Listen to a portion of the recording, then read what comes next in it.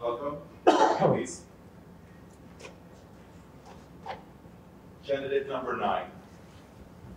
We will start over here.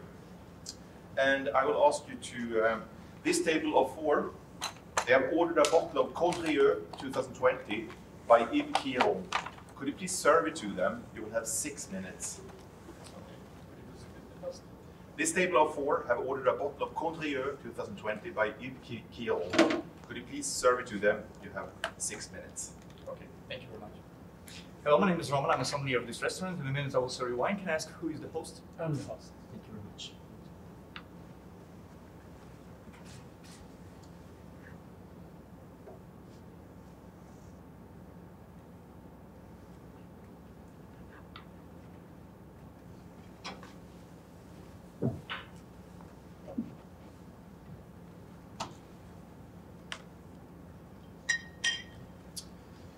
Sir, you the Condrieu from uh, Yves Cuilleron. Unfortunately, we don't have the Condrieu, but we have two wines made from the same grape varieties. One from Roussanne and the second one from Marsanne 2020. So all these uh, all these grape varieties are included in Condrieu. So we can uh, serve the wine for you. Uh, which one do you prefer? For some will give us more freshness. I will some give us- follow your recommendation. Okay, thank you very much.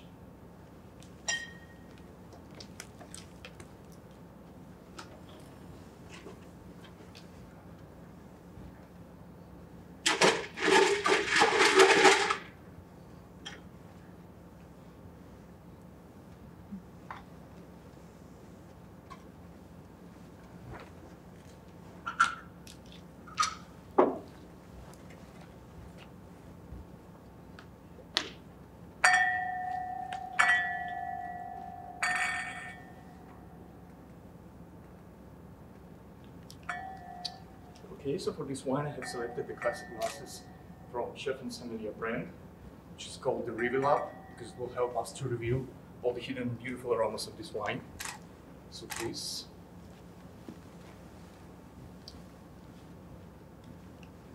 Okay,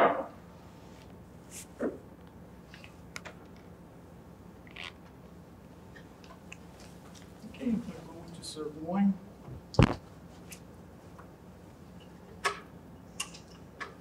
The way, do you need any food recommendations from my side for this wine? I will follow your recommendation. Okay, thank you very much. Do you have any food restrictions or maybe preferences? Not at all. Thank you. Okay.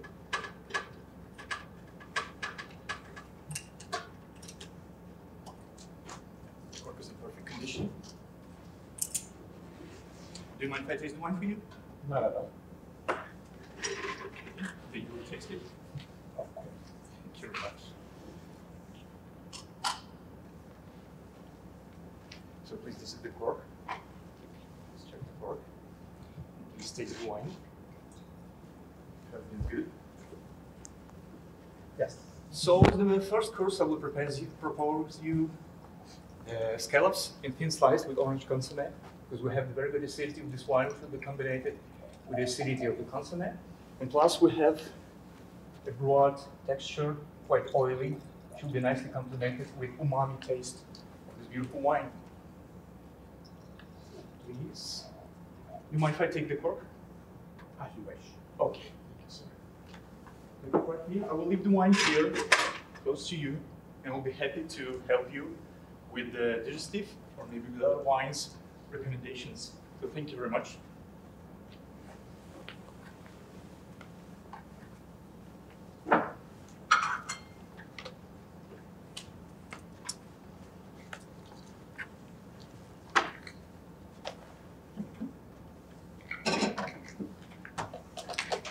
So the digestive, we have a proposal of different kinds of spirits, but if you like, we can have the fortified wines.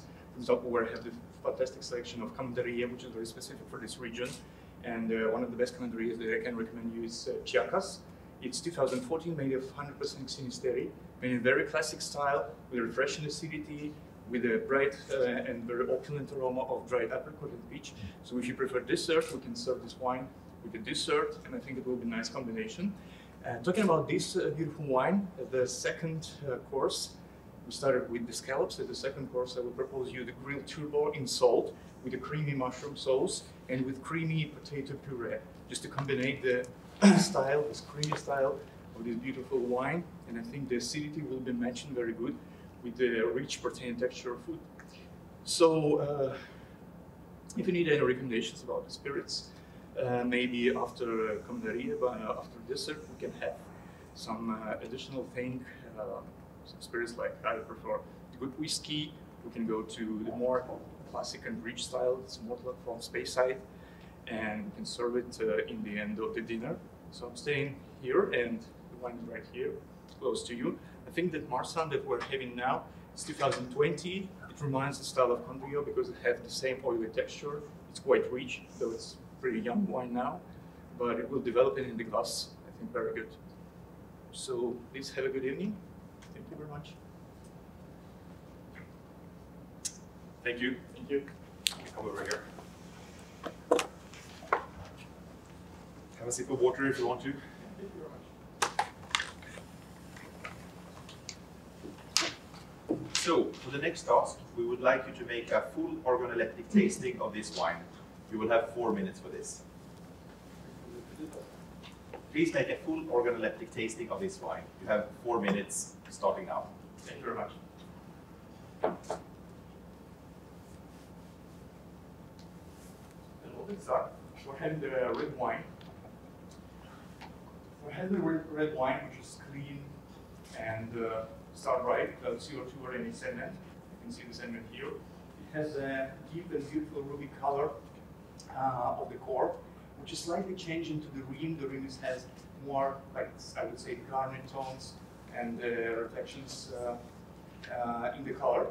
So talking about, uh, so talking about the legs, the wine has very has very good viscosity, and you see that the legs slowly trickling down the glass. And I think the wine is developing in in, in color. So we are talking about some aged old wine. Let's check in aroma. Wine is clean in aroma without defects. It has a, I would say, quite bright, I would say, even pronounced aroma with the predominance of predominance, I would say, the black fruits like uh, bramble, cherry. It's fresh and dried fruits. Uh, I would also notice plum. Complemented by hints of pyrazine, so it has some greenish tones. It reminds me the uh, green pepper, as we say, the vulgar pepper. Some touch of leafy tone, but complemented with uh, some spiciness. It's like dusted with spices, very gentle, with like cinnamon and cloves, maybe with touch of uh, black pepper.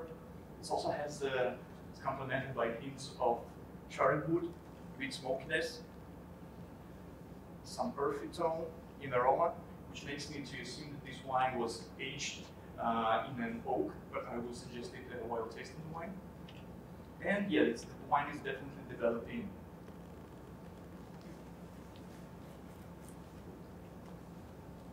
Talking about the palate, we have the correct wine without defects. It's bone dry, uh, complemented by vibrant, very fruit-driven and fresh acidity, uh, with, uh, I would say, well-integrated tannins, which are fine-grained. I would also say velvety tannins, were complemented by very well-balanced alcohol. The alcohol is a bit warming up, but it's very well integrated in the structure of wine. Wine has the round and uh, round but moderate body, with a bit oily texture, oily fine-grained texture, uh, which is balanced by the tannins and, uh, and the good acidity, the fresh acidity. So the flavors are quite intense too. We again can talk about the fresh uh, plum, cherry, bramble. We can uh, say about some tones uh, of tobacco and uh, spices in uh, in the taste. It has a lingering finish with the predominance of black fruits like bramble and black plum again. Just some very very gentle touch of of pyrazine in uh, in the finish. So I can say that this wine made in a classic way. Uh, it was, uh, I think it was fermented in steel with a temperature about 20 to 30 degrees. Then it was aged in French oak barrel because we see some signs of oak aging for maybe one year. I think it's wine made in a, a classic region. I think this wine is uh, from maritime climate. It's uh, old world. It's France, Bordeaux. Uh, the vintage is like 2000. Think 2017.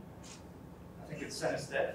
It's a wine made with the predominance of Merlot, uh, and of course with Cabernet Sauvignon. The alcohol is about 13.5. I would recommend to serve this wine with short aeration for about 30 to 40 minutes. And to serve this wine in a classic Bordeaux shape glass, but this regular shape is good too because it has some space to aerate this beautiful wine. And the temperature is about plus uh, 16 to 18 degrees. I think that will be uh, the most uh, the better selection. So for the food pairing and the suggestion for the first course, I would Time. Thank you. Now I would like to ask you to advise your manager, Mr. Poussier, whether you would buy this wine or not, and why. You have one minute for this. Okay. So Mr. President, my recommendation is to buy this wine. I tell you the reasons why. First of all, this wine is absolutely balanced and is ready now for for uh, for consumption, which is more important for the restaurants. We all know we're working in restaurants. We know that the main problem is now there are many that eat green wines that are not ready now. But this wine is quite balanced. I think it's young, but it has the appealing body. It has a very refreshing acidity and it has a very balanced tannin. So you can drink it now, but it has also potential for next to three to five years. I think it's absolutely unique in terms of gastronomy because we have the gentle tannins, velvety, which will be nice complemented with the classic dish made of meat. I think we have uh, the very gentle touch of spiciness, which will be nice complemented with spicy meat, uh, which is very good and make it quite unique for our restaurant. And I think this wine has potential, and I think with this wine, what is also good, we can serve it by the glass.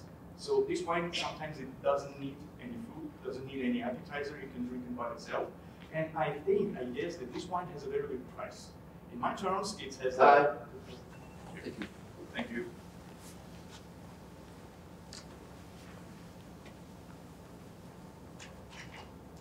So, now we would like you to identify these four sparkling wines mm-hmm. and name the method of production for each one. You will have five minutes for this.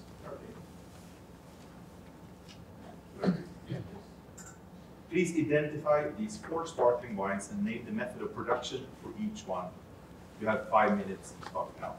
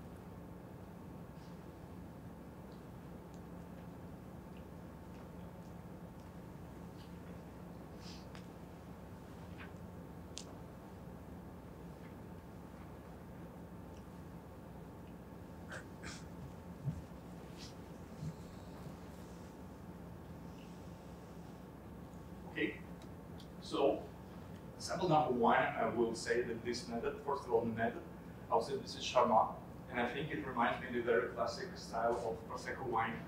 Uh, it has a very, uh, I would say, made in uh, off-dry style. So uh, we see the tiny bubbles, but it has a very refreshing, very fruit-driven, and very, let's say, style of Charmat method. So we don't see it here. The leach, uh, uh, tone, some creamy tone. So I would say that this is Prosecco uh, probably non-vintage, uh, very young, and Charmat. Wine number four, I think this wine was made in the classic method, so the second fermentation went in bottle, and I think we're having to deal with a good style of young champagne. Uh, I think it's uh, champagne made in style with predominance of uh, uh, of Chardonnay, so maybe it's I don't think it's a blanc de blancs, but it's a combination of three great varieties, but it's classic method, second fermentation bottle, it's champagne, probably non-vintage. So sample number three.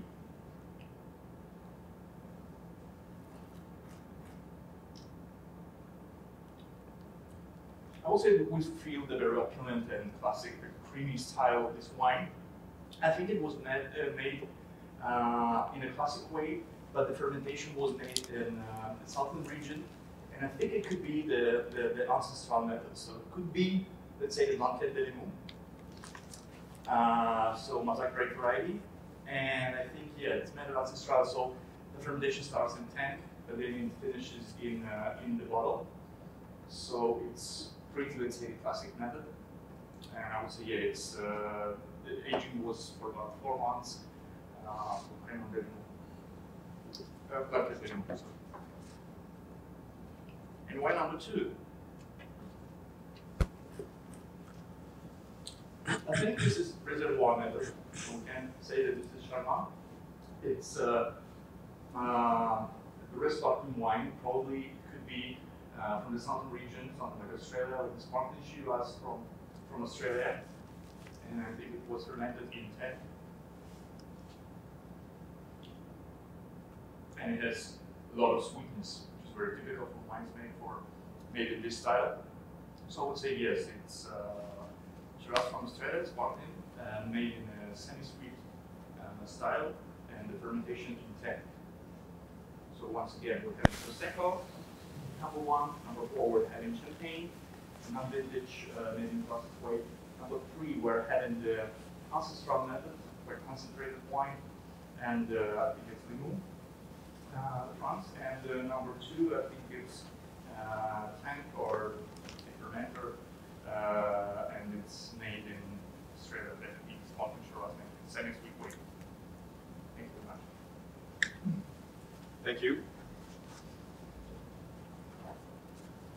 We think it's time for you to have something to eat. So for the next task, we would like you to taste this dish in front of you and suggest the best pairing from these wines. You will have three minutes for this. Including. Please taste the dish in front of you and suggest the best pairing from these wines. You have three minutes. Okay, thank you very much.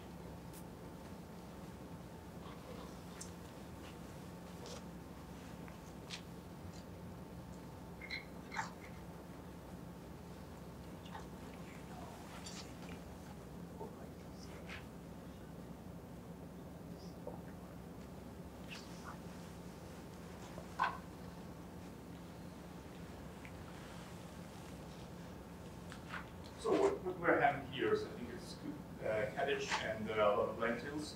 So the dish is quite simple, but it has a lot of protein texture. Uh, it's, a, it's a bit dense.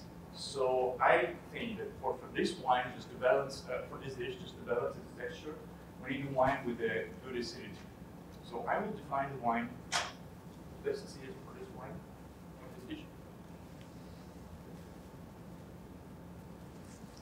And from the other side, we need to support this, let's say, protein, the creamy texture of, of the dish. So we need to, to find also the wine with the equal body, let's say, that can enhance this dish.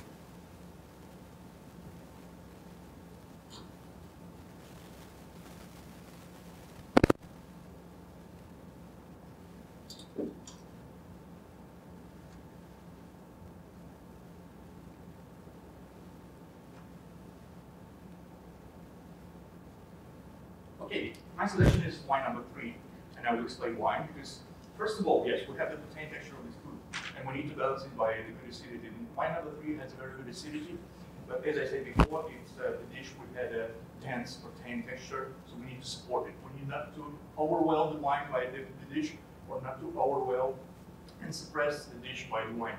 So wine number three has a, good acidity at the same time, but also a good body, which will support the texture of food. Why not selecting the wines number one, two, and three? The first one is too simple, and I think the dish will be overwhelming and suppressing this wine, this uh, its taste. So we won't feel the wine and won't feel our palate. Number two is too sweet, and I think it will be dominated here. We have a quite simple dish, so the sweetness will be predominant. Uh, wine none, I'm not selecting number four. No, number four has a good acidity too. But I think, in my opinion, for this dish, there's not enough body. So I prefer the wine with more full body texture. And I think uh, we're heading the uh, wine number three, the classic, uh, made by, let's say, the classic method, by the ancestral method, will give us the rich body, which can support the, this dense, creamy texture of food. And in the same time, it has a good acidity. It's not very opulent in aroma, and we have the, the dish, which is not very bright in taste or not very bright in aroma. So they will balance each other, they will complement each other and the body will support the texture, as I said before, the acidity will. Time. Mm-hmm. Thank you very much. Okay.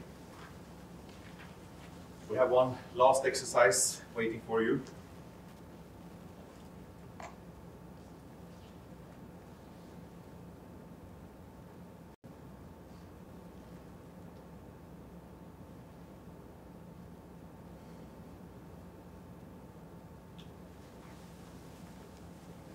Now we would like you to identify these three beverages. Okay. You will have two minutes for this. Okay. That's all done? Time's just now. Okay, thank you very much.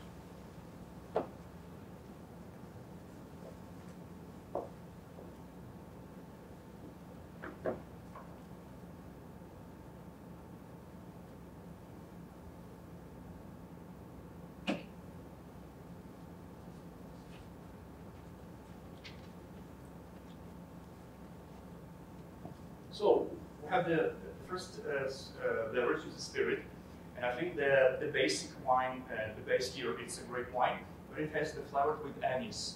So we have uh, we have different options because this kind of spirit is produced in different countries. Uh, for example, in Turkey, and I would suggest that uh, if we're talking about the spirit, it's a raki, classic raki from Turkey, uh, made with uh, with the anise.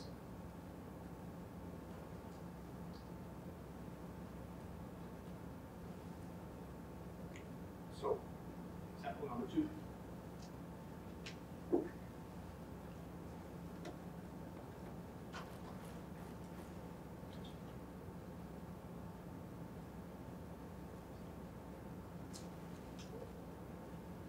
will go to later.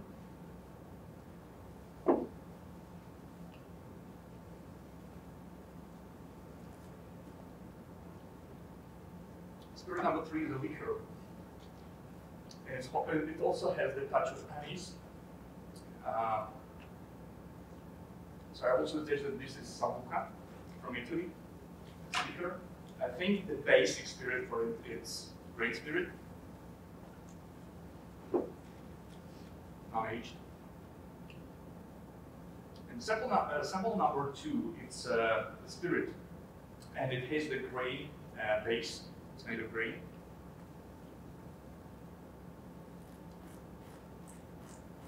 Time. Thank you. Thank you very much. You're free to go now. Thank you very much. Enjoy the rest of your day. Thank you.